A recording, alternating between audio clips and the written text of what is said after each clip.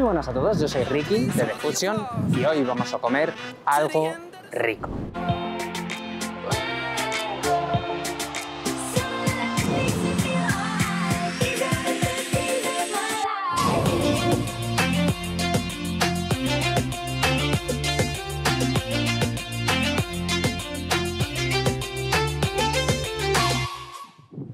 Estamos de vuelta en una nueva aventura por las calles de Taipei y lo que vamos a comer hoy es un restaurante italiano que tiene una gran variedad de pastas frescas, que la verdad que eso no se ve mucho por aquí en Taipei. Encontré este sitio porque me lo han comentado amigos, me he visto sus reseñas y la verdad que tiene buenísimas reseñas. Mucha variedad de pasta, que las salsas están increíbles, una calidad-precio muy alta y bueno, ¿qué os parece si entramos y lo probamos juntos? Acompañadme.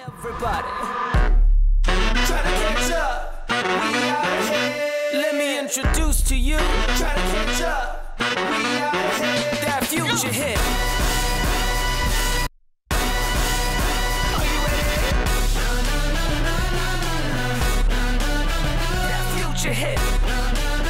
Estamos ya dentro del restaurante. Hemos pedido un entrante, que es el pan de ajo, luego hemos pedido una ensalada de higo. Vamos primero con el pan de ajo, que nunca he visto esto en un pan de ajo, pero le han echado, aparte de queso parmesano, que a veces se le echa, le han echado eh, queso ricota. Entonces tengo la verdad que bastante curiosidad por saber cómo puede saber la ricota, el parmesano, aparte de ya lo que es el pan de ajo de toda la vida.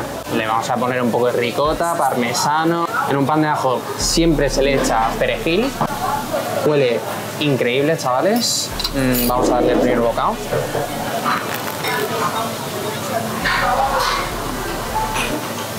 Mmm, cojonudo. La verdad que conjuntan muy bien porque como que comparten un poco el protagonismo entre el ajo y la ricota. Y aparte se nota que son ingredientes muy frescos en cuanto al queso, al pan, que está súper crujiente. Y luego normalmente para el pan de ajo se usa mantequilla, se junta con el ajo. La verdad que la mantequilla tiene muy buen sabor, es súper denso y súper fuerte. Sí, sí, sí. El pan de ajo me encanta y este, la verdad, que está muy bueno.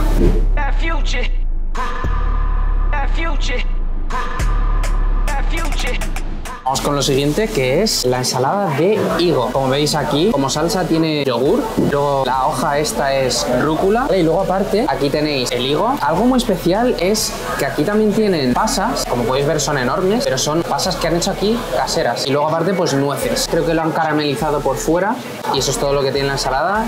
Y la verdad que tengo bastantes ganas de probar a ver qué tal está esto, porque tiene una pinta muy casera y súper deliciosa. Un poco de todo, un bocado que tenga nueces, rúcula, pasa.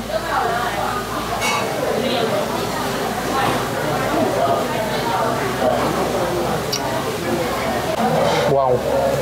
Buenísimo. Si os gusta la rúcula, esta ensalada os va a encantar porque la rúcula tiene un sabor muy muy fuerte. No a todo el mundo le gusta, pero luego cuando lo compaginas bien con algo dulce como es el higo, como es eh, la pasa casera en este caso, el yogur te da como cremosidad y tiene miel porque tiene ese dulzor y luego una nuez que está caramelizado por fuera. Es que es- ese conjunto está brutal, chicos. Esto está buenísimo, de verdad. O sea, me ha sorprendido muchísimo. Vale, pues aquí tenemos los dos platitos de pasta. Por cierto, aquí toda la pasta que hacen es pasta fresca, hecho aquí al día. Entonces aquí tenemos el de masala y aquí tenemos el clásico, el de pesto. La pasta al pesto es mi pasta favorita duda. Primero vamos a probar este, el de la masala. Nunca he probado una pasta así. Tengo bastante curiosidad por saber a, a qué puede saber masala en una pasta y tienen aquí una salsa bastante cremosa. Joder, tiene queso, aquí algunas setas,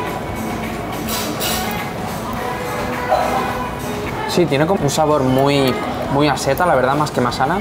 Se nota ahí un poquitín en la masala, pero no es aquí súper especiado, ¿no? Sabe un poquito a un alfredo hecho a base de setas, más que nada. Diciendo que era masala y tal, pues me esperaba más. La pasta muy al dente, algo que aquí en Taiwán en realidad no se hace nada. No están nada acostumbrados a comer cosas al dente, sobre todo en cuanto a noodles, a pasta o arroz. Vamos al plato que más me apetece a comer hoy y es el plato y la pasta que más y mejor conozco y la que más me gusta cocinar. Yo normalmente juzgo la pasta de un sitio a base de su pesto. Entonces, tengo muchas expectativas, espero que esté brutal. Y la diferencia de este pesto es que aquí le han echado mozzarella encima de la pasta. Por eso veis estas tiras. Esta pasta es como un tipo de pasta fusilli así diferente. Uf, tiene bastante cremosidad este pesto, tiene buena pinta, pero las pintas a veces engañan. Entonces, vamos allá.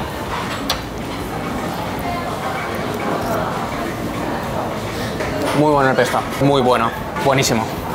El pesto está cojonudo. Mejor que la pasta de masala, porque el problema con la pasta masala era que si me hubieras dicho que es una pasta del frío de setas, te hubiera dicho que está cojonudo. Pero como me has dicho que era una pasta de masala, pues me ha decepcionado un poco. Pero este pesto está muy, muy bueno en cuanto a la cremosidad. Otra vez quiero repetir la textura de la pasta al dente, buenísimo. Y luego aquí usan el pesto auténtico, porque en vez de usar la albahaca tailandesa, que es muy típico aquí, han usado la albahaca italiana. Le da un bocado solo, pero es que está muy bueno. Mm. Buenísima, de verdad. Bueno, hemos acabado con todos los platitos de hoy. Resumen de lo que hemos pedido. Un entrante que ha sido el pan de ajo, la ensalada de higo, luego dos platitos de pasta, el de masala y el de pesto. En cuanto a precio primero, no es de lo más barato, lo hemos comido por un total de, lo voy a poner por aquí, en cuanto a cantidad, para cualquier persona normal que no coma mucho ni coma muy poco, te vas a quedar bien después de haber comido lo que hemos pedido. Bueno, mi veredicto final te diría que del 1 al 10 yo le daría un 8 y medio tranquilamente, ¿eh? porque en cuanto a calidad, frescura, ingredientes, o sea, cositas ¿no? que le añaden a, a cada plato para darle como su propio toque, su propio estilo. Luego el ambiente, toda la decoración, súper bonito, el emplatado, los utensilios, todo, todo. Está muy bien pensado este restaurante es un sitio al que volvería seguro, ¿eh? porque me apetece pues probar sus otros tipos de pastas. Así que bueno, espero poder volver aquí en una aventura futura. Y nada chicos, como siempre, voy a hacer el outro fuera.